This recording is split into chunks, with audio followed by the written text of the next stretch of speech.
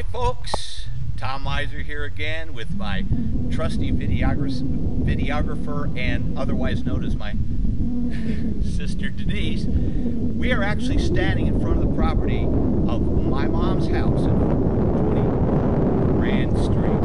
And let me tell you, as of a couple months ago, this place is unrecognizable. And for my family out there who hasn't really gotten a glance at my Tennessee family, I see you out there. Jason, Jason. I see him. And I see Sheila, and I see Mark, I see Rain, I see Job, all of my Tennessee family. This is going to be pretty remarkable for you to see. And in less than 14 hours from now, this house at 424 Grand Street, our home, is going to be a memory. Let's go this way. As you can see, there's a lot of construction uh, equipment on the property. Uh, we're ready to go. And we're going to walk around this big piece of equipment. Millbacher and Sons. You want to pan onto that? That'll have a little bit of significance once I tell you a little story. Millbacher and Sons Construction, there's a little bit of an irony there how they ended up being the construction company that is going to be doing the demolition of my house, mother's house tomorrow morning. So come on with me. We're going to walk around the back of this big, what do you call it, Denise? What do you think? It's a Backhoe, think. bulldozer, big, Backhoe. giant backhoe, something with a big scoop on it. Anyway, Big. it's big. We're going to walk around the back and we're going to come around this area. And let's look at this pile of broken up concrete. This is what's left of my mother's swimming pool deck. For those of you who were brought up in this house uh, and know this house well, about where I'm standing right now, there was a fence. Denise Pan over there is a remnant of the redwood fence that stood around my mother's pool deck. There was also a chain link fence that surrounded the house, uh, uh, surrounded the pool, and as you can see, the fence is gone, and there is no way of knowing that a pool was ever in this area. Two years ago, the corner of the pool started to crumble over the embankment, and this is the first sign that we really knew that there was a real erosion problem.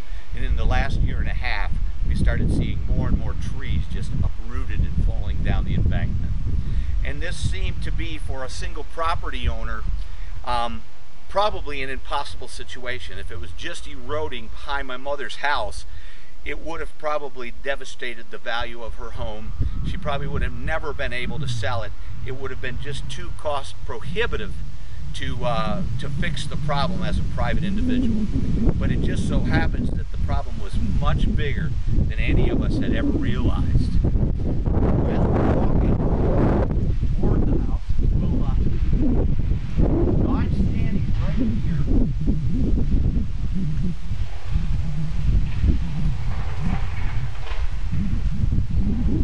Probably, Denise, if we can kind of figure out where we're at, would this be what would have been the corner of the pool here?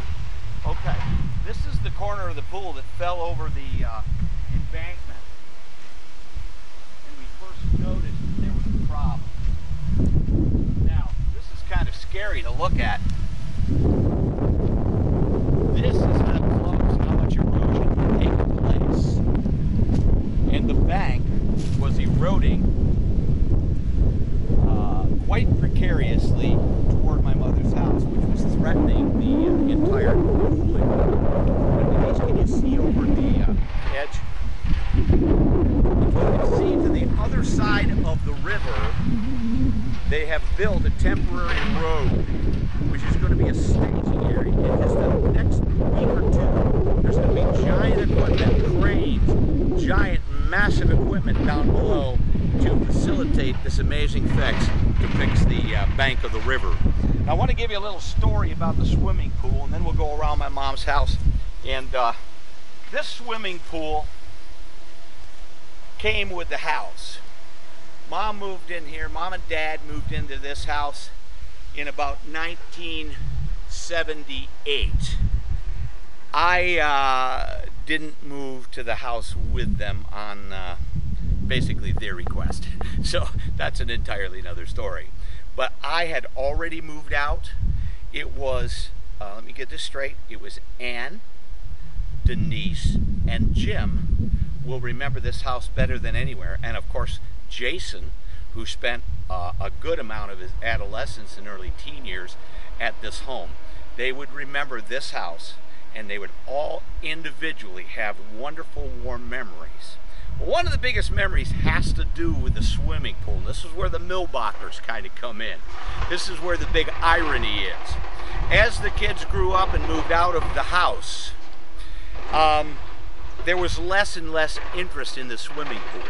And it was generally mom who was left with the task to clean the pool. And this angered my father. Now my father really never had anything to do with the swimming pool, but he was angry that mom was the only one that would uh, would care to keep the pool maintenance up. So for the last couple of years, my father threatened that he was going to turn the swimming pool into a big garden, and he was going to fill it in with dirt, and he was going to make it into a garden. Well, actually, what would you say, mid to late 80s? In the mid to late 80s, my dad fulfilled that promise. And the irony of it is, he grabbed a couple of his, of his, of his buddies from the Milbacher construction who came up one afternoon, dismantled the fence, brought in a couple of truckloads full of sand, filled in the swimming pool, topped it off with topsoil, and it became a very nice garden. In fact, the nice part about it was it was already fenced in, so it would prevent any of the little critters and the little rabbits from hard, uh, uh, from from eating any of the stuff that was planted there. And actually, it was a very very productive garden for many years. There was a lot of exotic plants and flowers planted in there. I remember when my brother Jim and I we had uh, one little uh, stretch where we were planting all kinds of uh, pepper plants, all kinds of hot pepper plants, and uh, it was just a lot of great memories of the garden. In fact, it was a productive garden up until probably just about two summers ago. Uh, I know my sisters were coming in and they were putting in plants and, and it's hard to believe just looking at this place that there ever was a swimming pool, let alone a garden. Now pointing toward the house there, um, you will remember that this was the screened-in area. Now it stands desolate, filled with a lot of the uh, insulation material from inside the home that had been torn out.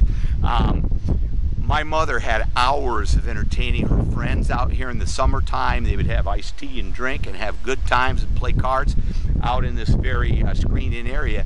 It was a place of great pleasure for a lot of our family. And now it lies desolate. And in just about uh, a little over 13 hours from now, um, will fall prey to these big machines that are in my mother's yard. Next, in the fourth part of Eve of Destruction, we're going to do a little walk around my mom's house and then the final walk through the house. will Be the last time anyone will get to see the house. Tomorrow morning at 8 o'clock, this home at 424 Grand Street will be nothing but a memory.